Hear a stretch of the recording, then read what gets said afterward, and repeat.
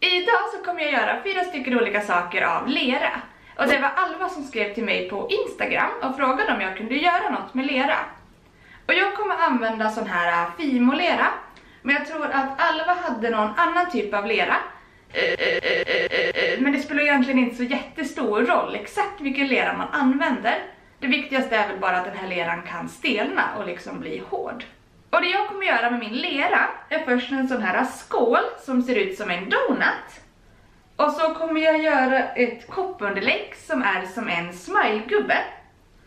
Och så kommer jag också göra som en liten, ja typ ask. Och så sist så kommer jag också göra ett mobilfodral, eller skal, med regnbågar på. Och av allt det här så är nog den här donuts, nej nej, det här mobilskalet är nog min favorit. Jag började med att göra den här skålen som ser ut som en donut.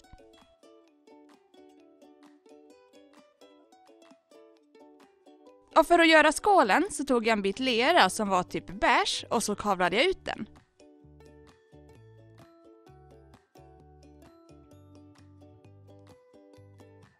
Och den här leran behöver jag nu få rund. Så jag tog en skål och la den uppe på leran och sen så tog jag en kniv och skar runt skålen så att leran blev helt rund.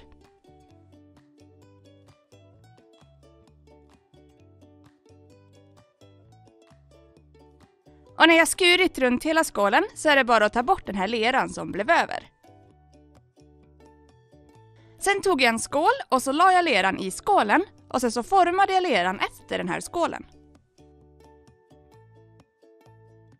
Och eftersom den här leran sen ska stelna i ugnen så behöver man ta en skål som också tål att vara i ugnen. Ja, när jag format leran runt den här skålen så är själva brödet till min donut klar. Så nu tog jag en bit rosa lera som skulle bli själva glasyren och så kavlade jag den ganska så tunt.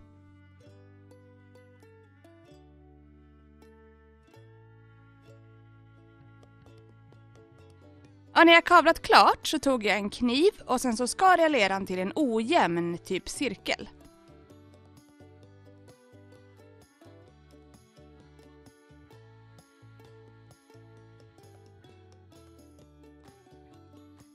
Och så la jag den här rosa glasyren ovanpå det här beiga brödet i skålen.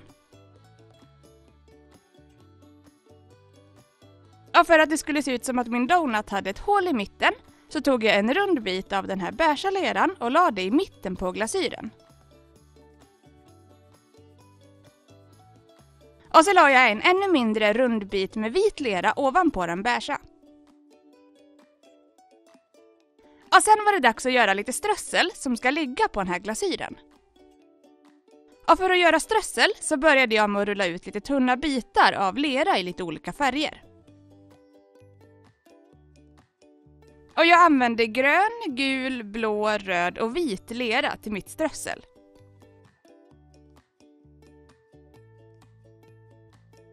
Och när jag rullat ut de här tunna strängarna med lera så tog jag en kniv och så delade jag dem i lite mindre bitar så att det blev som strössel.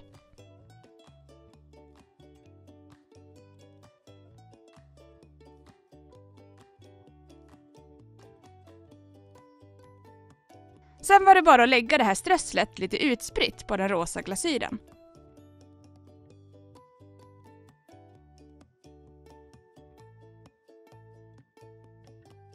Och den här leran ska ju nu härda i ugnen så att den blir hård.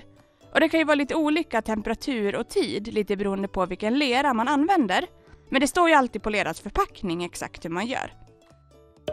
Och den lera jag använde skulle stå i ugnen i 110 grader i ungefär 30 minuter.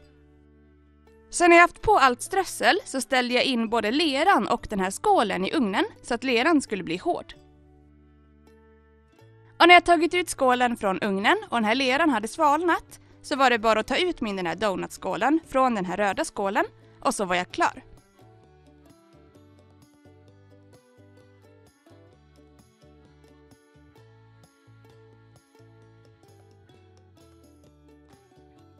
Det andra pysslet som jag gjorde var det här koppunderlägget som såg ut som en smilegubbe.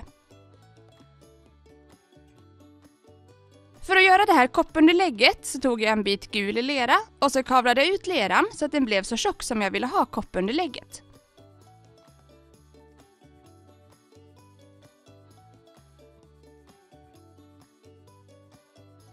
Och sen tog jag ett glas och ställde det uppe på leran så att jag sen kunde skära runt glaset för att få ett helt runt koppunderlägg.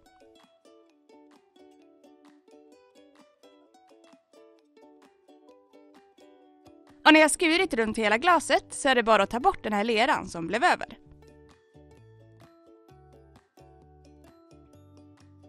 Och nu när jag var klar med den här gula leran så tog jag lite röd lera och så kavlade ut den.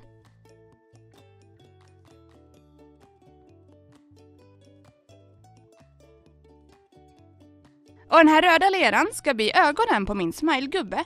Så jag tog en hjärtform och så stansade jag ut två stycken hjärtan ur leran.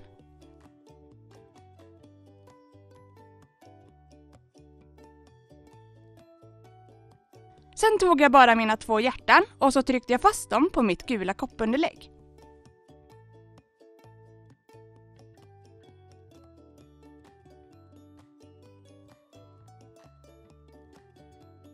Och så satte jag också dit en svart bit lera som jag format till en mun.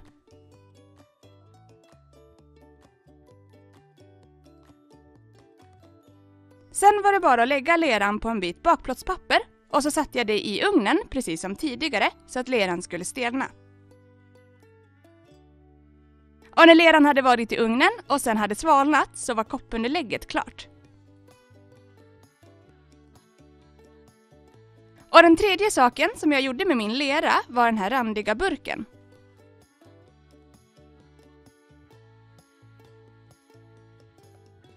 Jag började med att göra botten på burken och för att göra det så kavlade jag ut en bit vit lera.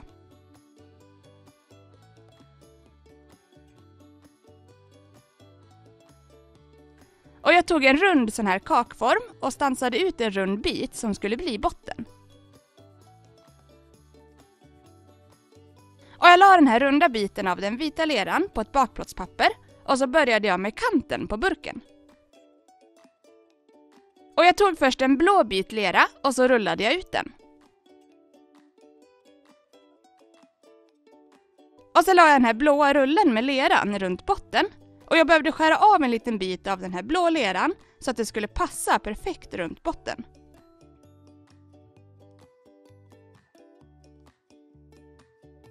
Och när jag var klar med den här blåa leran så tog jag en bit ljusgrön lera och så rullade jag ut den. Och så la jag den här gröna leran ovanpå den blå. Och precis som tidigare var jag tvungen att skära till den här gröna så att det skulle passa precis.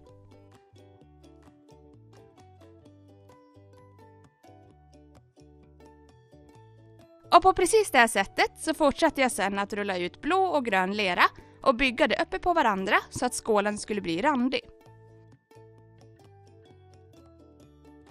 Men den här burken kändes inte riktigt så stabil när jag skulle bygga den. Så jag tog det här runda kakmåttet som jag använt tidigare och så satte jag fast det på burken. Och då fick liksom den här burken lite stöd från den här kakformen och jag kunde nu bygga runt om formen.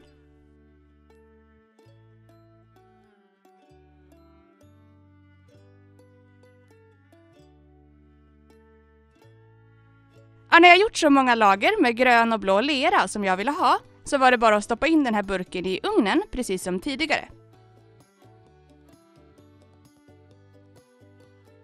Ja, när leran hade varit i ugnen och sen svalnat så tog jag bort den här kakformen som jag hade stoppat i och så var burken klar.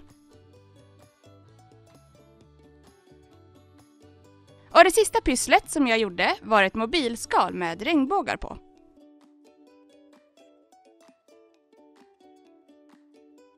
Jag började med att rulla ut små bitar av lera i fyra olika färger. Och jag använde lila, blå, rosa och gul lera.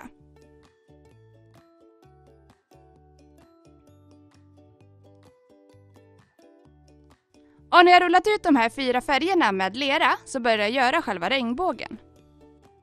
Och jag böjde liksom de här bitarna med lera som ett C och så la jag dem efter varandra.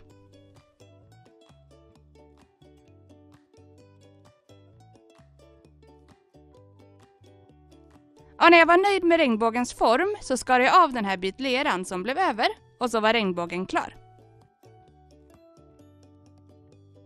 Och på det här sättet så fortsatte jag sedan att göra regnbågar i lite olika storlekar och jag satte också de här olika färgerna i lite olika ordning på mina regnbågar.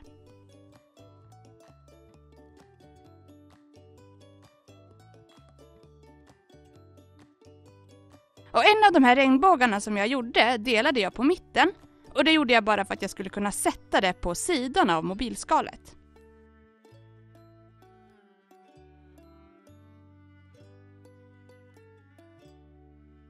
Och när jag gjort alla regnbågar så la jag dem på ett bakplåtspapper och så lät jag dem stå i ugnen precis som tidigare så att de skulle stelna.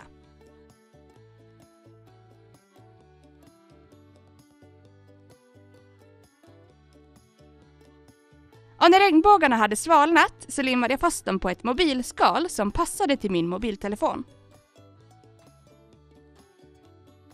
Och det kan vara bra att ta ett lim som är lite starkare så inte de här regnbågarna lossnar.